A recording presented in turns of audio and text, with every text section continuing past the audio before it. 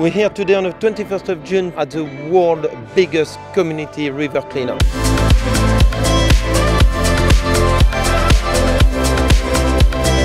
We've got 300 paddle boarders on a river and all our locals and residents alongside the river collecting the plastic. This event touch base on environment, it touch base on education, touch base on bringing the community together. It just ticks all the boxes.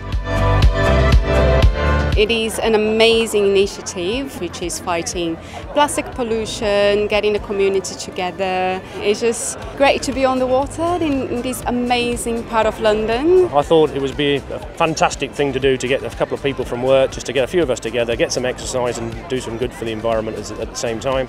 A good day out in the sunshine, picking up plastic, fantastic. I just challenge the cities and the town in UK as well to do the same. Last year we had around 100 people and I wanted it to be three times bigger this year. We are three times bigger this year and I want it to be three times bigger next year.